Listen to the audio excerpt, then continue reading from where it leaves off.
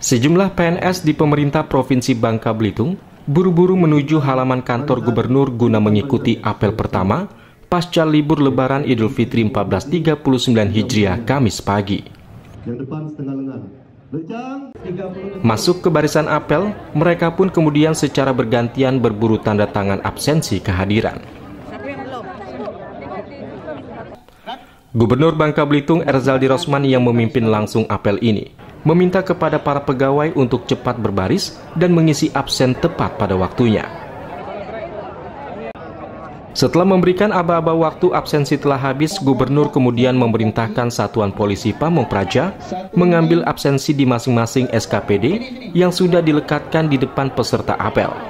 Namun pada hari pertama masuk kerja ini dipastikan tidak ada PNS yang bolos kerja. Presentase kehadiran saya rasa ini sudah saya saya yakini ini tidak 100% karena ada yang sakit.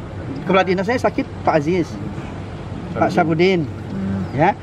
Tapi kalau kepala dinas yang tidak hadir cuma ini, tapi kan sakit. Pak Sabudin kan kecelakaan kemarin. Kalau Pak Aziz uh, rawat nginap sekarang.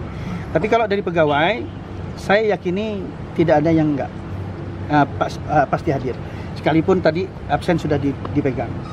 Berarti 100% ya. pegawai Pak ya? Saya yakin Kalau 100%. hadir apa Pak hukuman? Wah udah sesuai dengan ketentuan ngapain?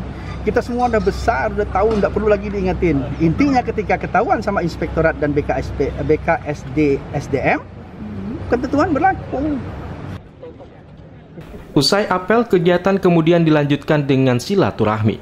Tak ayal antrian panjang pun mengular saat seluruh pegawai mengantri untuk bersalaman dengan gubernur, wakil gubernur, sekda, staf ahli gubernur, serta kepala SKPD di halaman kantor gubernur Provinsi Bangka Belitung.